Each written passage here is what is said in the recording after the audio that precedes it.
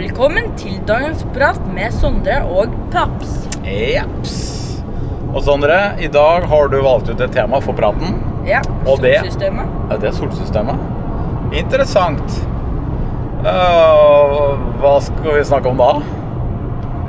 Om vi kan noe om solsystemet? Ja, nei, jeg vet da søren. Hvor skal vi starte den da?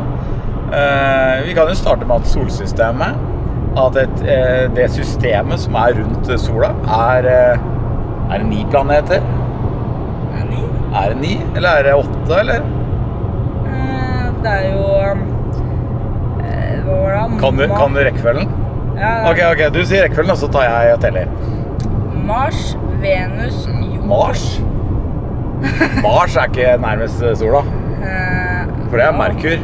Ah, ja, det var Merkur, ja. Ja, Merkur. Merkur, Venus, Jorden, Mars, Jupiter, Saturn, Uranus og Neptun. Jeg kom til åtte. Åtte. Åtte planeter i eh, det sol- det vi kaller solsystemet. Fordi Pluto, det var jo betegna som en planet tidligere. Ja, men var det ikke en fyr som sa at det ikke var en planet lenger? da? Nei, siden det på en måte bare var en stein, så Og den var under en viss diameter, så ble den eh, degradert til å være planet til dvergplanet.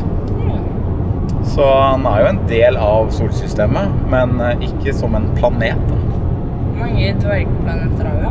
Du, det tror jeg er mange, for det fins mange andre steiner utafor Pluto som man har funnet i ettertid, som også defineres som eh, dvergplaneter. Men eh, ikke spør meg hva de heter. det må du ikke spørre om. Og Jupiter, den er litt kul, da, for det er liksom det minste elementet av de kjente planetene, da, dvergplanetene.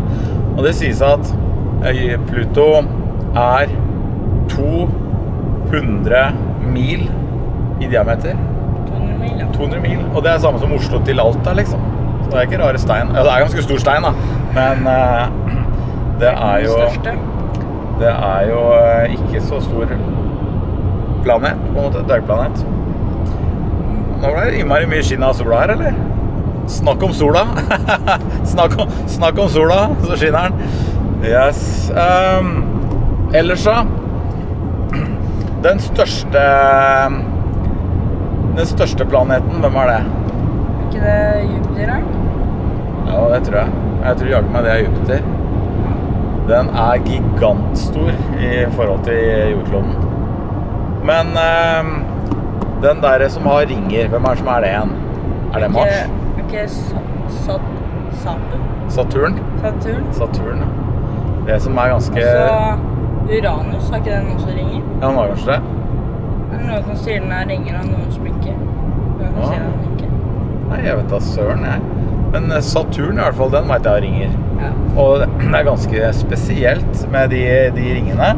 Fordi det sies da at eh, de ringene kommer av at en av månene til Saturn, som besto av veldig mye is, krasja inn i Saturn. Altså hvis dette er Saturn, så kommer det en måne og krasjer inn og knuser. Og så var liksom den ismassen bare eh, blitt slynget rundt Saturn.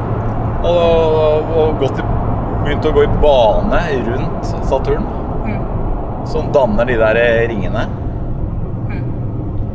Kult. Ja, det er innmari kult, faktisk. Og det som er veldig, veldig spesielt, det er jo at eh, de ringene De er jo ikke tjukkere enn ca. 1,5 til 3 meter. Er de ikke tjukkere enn det? Nei. Ja. Så eh, selv om kan, vi kan faktisk se de fra jorda, men, eh, men eh, de er ikke tjukkere Mm. enn 1,5 til 3 meter. Så Så det er ganske spesielt. Men eh, visste du at eh, sola er bare gass? Gass? Bare gass. Sola har ikke noe hard kjerne. Hard kjerne. Ikke Ja, jorda har jo en metallkjerne. Det er den som danner det elektroniske, magnetiske feltet rundt jorda. Men eh, sola har faktisk ikke hard kjerne. Så du lagde et romskip som tåler ekstrem varme, så kunne du kjørt tvers igjennom sola. Hadde begynt å svette litt da. Ja, da hadde du hatt et bra aircondition-anlegg, da. Ja, superbra. Husker du hva var det over, over, eh, over Altså, temperatur på sola var det var det Jeg, jeg har en sånn bok om eh, solsystemet, så jeg, der sto det seks millioner. Seks millioner grader. Ja. Ja, da skulle det vært et heftig romskip. ja. Eller så har den 12 eller 24 eller noe. Jeg husker ikke. Ja. Det var litt varmere enn i stekeovnen. Det er i hvert fall ikke noe å snakke om det. Men eh, Men visste du at eh, jordkloden Den har jo denne metallkjernen inni seg. Ja. Og den surrer jo rundt inni jorda. Og pga. på grunn av at den surrer rundt, så danner jo jorda et sånn elekt elektromagnetisk felt rundt hele jorda. Mm. Og det magnetiske feltet, det gjør at eh, solstråler, altså sånne ultrastråler eh, som på en måte ville ha svidd opp og brent opp jordkloden, blir holdt ute. Så hadde det ikke vært for den der metallkjernen, så hadde det kanskje aldri oppstått liv på jorda, fordi eh, sola hadde svidd jordkloden. Flaks. Ja, det, det, det vil jeg kalle flaks. Ja. Det, jeg var når du var liten, satt i barnevogn, så var jeg på en sånn eh, eh, På en sånn astrofysisk eh, messe oppe på Ekebergsletta. Og da hadde de eh, lagd solsystemet utover fotballbanen her. Eh, og hele solsystemet, det var eh, 600 meter. Så det hadde skalert ned sola til å være en, ca. en håndball. Eh, så det var liksom sola. Og jordkloden var da 15 meter unna sola i den målstokken. Men eh, hva var målstokken? Ja, det var at hele solsystemet var ca. 600 meter.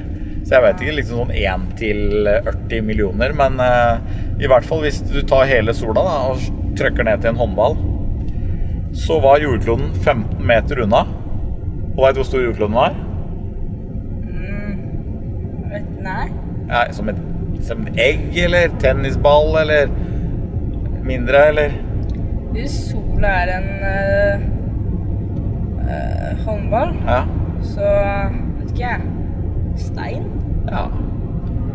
Det er litt mye, fordi jeg tror sola er Jeg er ikke sikker, jeg er ikke tusen ganger større enn jordkloden. Men jordkloden var i hvert fall representert som fem millimeter. Fem millimeter? Fem millimeter, ja. Det er snakk om en halv centimeter. Ja. Altså, Da fikk vi liksom et veldig sånn perspektiv på ting. da. Så det var sånn der stand da, bortover hele. Så liksom kom eh, først eh, Merkur, så Venus og jorda, så Mars og Jupiter, Saturn, Uranus og Neptun. Så du kunne gå fra post til post da, for, for å se da hva, hva slags bergarter og hva klodene var eh, lagd Hvor stor var Jupiter? Ah, Jupiter den var jo ganske stor igjen da, til å være i forhold til jorda. Det Men den er jo liten i forhold til, eh, til sola. Men det som var kult, Sondre Der var jo, da, Den gangen var jo Pluto en planet. Den planeten var jo da 600 meter fra sola. 600 meter? 600 meter fra sola. Og den var jo bare sånn bitte lite sandkorn. Og når vi sto der, da, og det begynte å bli mørkt, og så disse jordklodene de var jo, hadde de satt lys i, da. Og da kunne du se liksom alle planetene bortover. Og så sola lang, sånn en bitte liten prikk da, bortpå sletta. Det som er mest spennende, det er at eh, Knut eh, Ødegård Nei, hva heter det? Knut Jørgen Ødegård, ja. Han er kjempemorsomme og entusiastisk. Å, dette er det mest fantastiske! Så, ja, så har han briller og hår og alt mulig. Skikkelig kul fyr. Han sier da at neste himmellegeme fra altså første sola, første stjernen Altså stjerner er jo soler, ikke sant? Så alle de der prikkene vi ser på himmelen eh, på natta, som vi kaller stjerner, det er jo soler. Så, så sola vår i solsystemet er jo en stjerne på himmelen. Når det kommer langt nok unna. Og altså den første stjerna utenfor vår solsystem Veit du hvor langt unna den er? Uh, 1000 meter? Ja, altså Hvis du tar solsystemet, da, som er da 600 meter, så tror du at den første stjerna er 1000 meter til? Ja. Nei. 1000 meter er 1 kilometer. Ja. Det er ikke 1 kilometer unna. I den målestokken hvor jordkloden er 5 millimeter. Ikke 1 mil. Ikke 10 mil. Ikke 100 mil. Men 200 Ikke 200 mil. Ikke 300 mil. Men 400 mil unna. 400 mil unna Pluto er første stjerne. Og det representerer Oslo til, eh, til eh, pyramidene i Egypt. Så da kan du tenke deg, da sto vi på Ekebergsletta. Sola var en håndball, og så kommer planeten utover. Og 600 meter så kommer da vår ytterste den gang planet, Jupiter. Nei, eh, Pluto. Og så er det da 400 mil. Men vet du navnet på Det er Jeg tror det var enten var det høyre eller så er det venstre skulderen i stjernebildet Orion. Mm. Ikke sant? Du har sett Orion? ja. Du har sett Orions belte, i hvert fall. Orions belte er de tre karakteristiske stjernene som står litt sånn på skrå. Men det er jo bare beltet til Orion. Så har du bein, og så har du en liten sånn knivslire, og så har du skulder. Og, sånn. og det en, høyre eller venstre skulderen der oppe, det er den stjerna som er nærmest jordkloden. Tenkte du det? Så, Kult. så da begynte man å se Og det er én stjerne. Og i vårt eh, univers så er det på en måte kanskje én milliard stjerner. Nei, en, i hvert fall 100 000. 100 millioner, jeg tror det er 100 millioner stjerner i vår galakse. Og så fins det en million galakser. Men eh, er det ikke en galakse inni vår galakse nå? Jo, det er to. Det er to? To stykker. Vi har hele tiden trodd at eh, at eh, Altså, vi, vår galakse som heter Melkeveien, den er jo på vei et sted. Og den kommer til å kollidere med en annen galakse på et tidspunkt. Eh, og den galaksen heter Dromedargalaksen. Men det er jo stor kjempeavstander mellom alle disse stjernene. da. Så selv om to galakser på en måte går inni hverandre, så er det ikke sikkert at det er veldig mange som treffer hverandre. Nei. Ikke sant? Det blir som om man har, har du, Hvis én kaster ut fem tennisballer på en fotballbane, og, den, og det står en på den andre siden av fotballballen og kaster fem tennisballer den andre veien, så skal det jo ganske mye til for at de ballene skal treffe hverandre. da. Bare at her er ikke en fotballbane, her er det jo enorme mengder større avstander. Så det, det høres, høres kanskje litt mer voldsomt ut at to galakser kolliderer enn det faktisk er, da. Men det Sondre sier, er at det er to galakser i inni våres eh, Melkeveien. Og det er helt riktig, fordi jeg så på et dokumentarprogram på History eh, om at de har begynt å ta bilder med noe sånn infrarøde kameraer. Eh, og da klarer de å fange opp andre lyskilder da, enn de vanligvis har klart. Så tidligere så hadde man ikke visst om de to minigalaksene. Men i eh, nabospiralarmen på Melkeveien, der er det altså to galakser som har infiltrert seg inn i Melkeveien. Akkurat mens vi snakker nå. Men vi ser jo ikke det og hører jo ikke det. Og med vanlige kameraer og teleskop så hadde vi ikke fanga det opp. Men med sånne spesielle kameraer så blei det fanga opp, da.